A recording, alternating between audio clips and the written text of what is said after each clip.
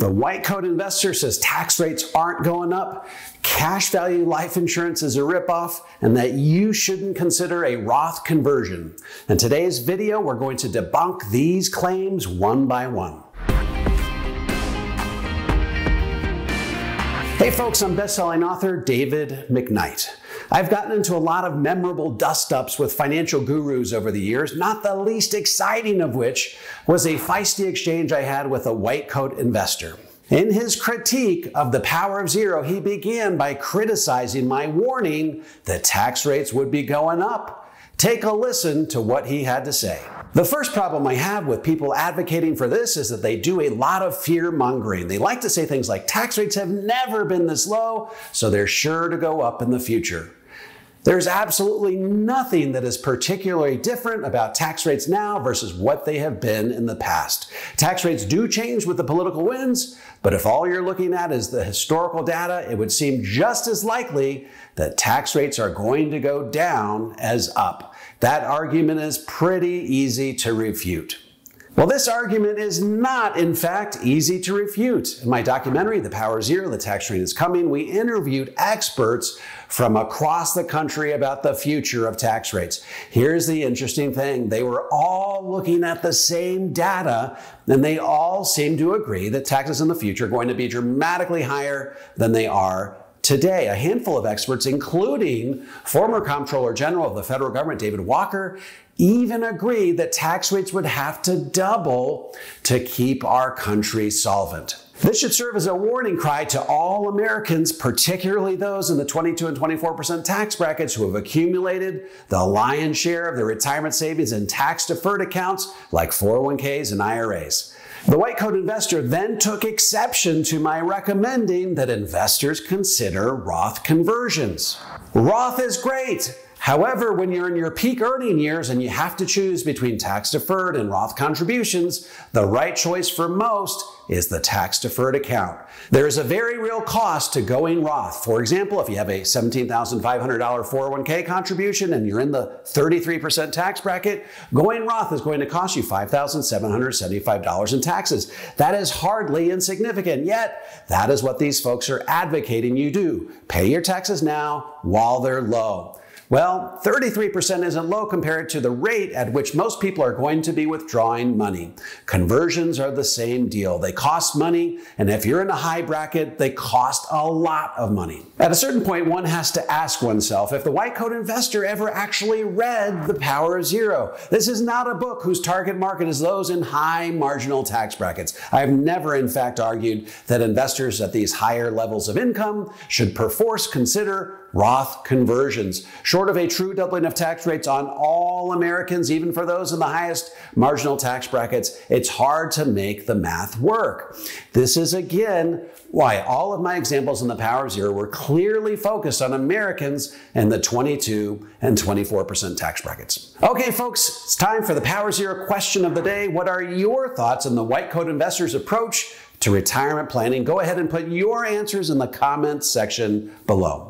The white coat investor then trains his sights on cash value life insurance, or as I describe it in chapter 5 of The Power of Zero, the life insurance retirement plan. Perhaps the biggest reason I dislike this idea of going for a 0% tax bracket in retirement is it causes people to invest in cash value life insurance policies that they wouldn't otherwise buy. Remember, you buy life insurance with after tax dollars, so you can put $17,500 into your 401k, or you can pay a life insurance premium of $11,725. The 401k investment grows at 8% and then is withdrawn at a 15% tax rate and the life insurance cash value grows at 4% and then borrowed tax free, but not interest free. 30 years later, the difference is $149,682 versus $38,029. Which would you rather have? I don't particularly think that cash value insurance compares favorably with a taxable account, but I can understand why some conservative, highly taxed investors might find it attractive. However, when you compare life insurance to a 401k or Roth IRA, the insurance nearly always comes out looking terrible. First of all, getting to the 0% tax bracket doesn't require using cash value life insurance, and none of my books have ever made such a claim. In fact, many of our clients rely solely on all the various forms of Roth IRAs to mitigate the effects of future tax increases. In the right circumstances, however, there are some compelling reasons to consider cash value life insurance. With rates of return between 4 and 6% net of fees over time, this is a safe and productive way to grow at least a portion of your retirement portfolio. Furthermore, most companies who offer cash value life insurance will allow you to receive your death benefit in advance of your death for the purpose of paying for long term care. And should you die peacefully in your sleep, never having needed long term care, someone still getting a death benefit, probably your kids or grandkids. So there isn't that sensation of having paid for something you hope you never have to use. Furthermore, as I said in my recent video, the Dave Ramsey buy term and invest the difference fallacy, I don't think it's useful to compare life insurance cash values that average 4 to 6% net of fees over time to stock market portfolios that average 8% or more. Most investors consider the cash value on these policies to be part of the bond portion of their overall portfolio and are perfectly satisfied with bond like returns over time.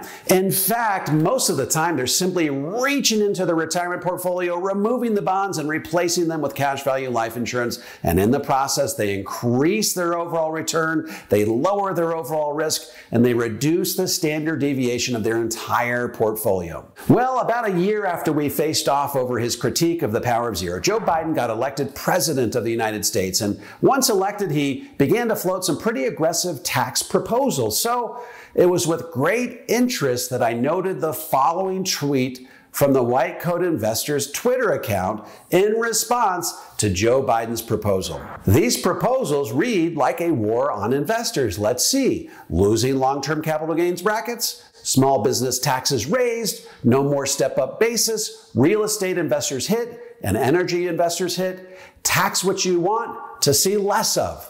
If these were passed, I think I do a huge Roth conversion.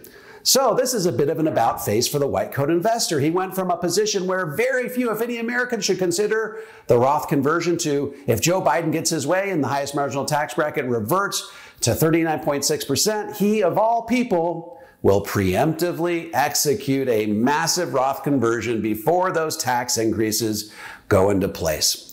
Well, guess what, folks? Joe Biden doesn't have to get his way for tax rates to revert to 39.6%. In fact, for tax rates to go up on all Americans across the board, all Congress has to do is nothing. Why? Because the Tax Cut and Jobs Act expires on January 1st, 2026, and tax rates for all income levels will return to their pre 2018 levels, which is precisely why I continue to encourage pre retirees, particularly those in the 22 and 24% tax brackets, to take advantage of these historically low tax rates before they go up for good. So I was so encouraged to see that I'd enlisted another ally in the battle to get the message out on the reality of higher taxes and the importance of Roth conversions that I tweeted back. I'm glad you're starting to come around. At which point he blocked me.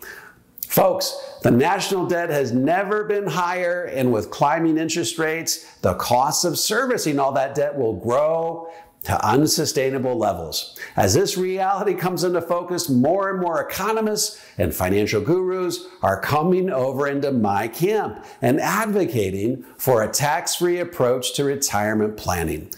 As we draw the battle lines in the fight against higher taxes, I'm grateful to count the white coat investor as an ally, even if I can no longer read his tweets.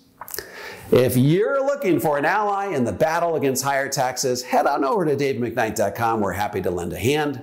Don't forget to click like, subscribe, and the bell so you never miss a video. And feel free to make any comments or ask questions in the comments section below. This is Dave McKnight. I look forward to seeing you on the next video.